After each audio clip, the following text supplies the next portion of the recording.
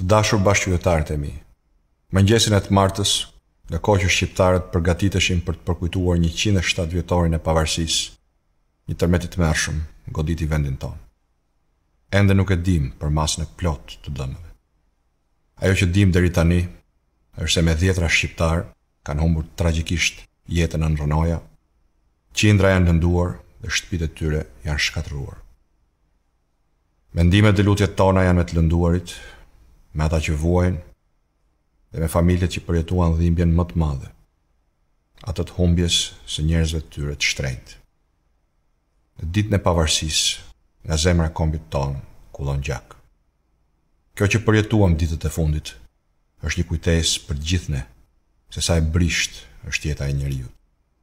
Se sa mirënjohës duhet të jemi për gjithçka që na ka falur Zoti dhe për t'i përqafuar pak më fort fëmijët dhe të dashurit tanë. Gjatë këtyre tre ditëve kemi përjetuar disa prej orëve më të vështira të viteve të fundit. Por po kështu kemi parë më të mirën e njerëzve tanë. Njerëzit e parë që u sulën mbi rrënoja për të kërkuar të mbijetuarit pa menduar dy herë për rrezikun që u kanosej. Mjekët dhe infermierët që punojnë pa orar për të mjekuar të lënduarit. mijëra të tjerë që nuk janë kursyer për të ofruar ndihmë dhe kontribute për vëllezërit dhe motrat tona në nevojë. Me gjithë ndasitë tona në orë nevoje, ne jemi një komb i bashkuar, lidhur ngushtë nga të njëjtat vlera dhe e njëjta dhembshuri. Kjo është Shqipëria e vërtetë. Shqipëria e njerëzve me zemër të madhe dhe me forcë të pashtershme. Sot, në vend të festës së Pavarësisë, një komb i lënduar është kërrusur nga dhimbja për humbjen e jetëve.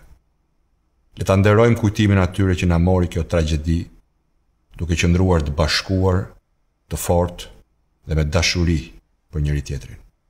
Dhe qoftë kujtimi i tyre uratë për të gjithë ata që i njohën.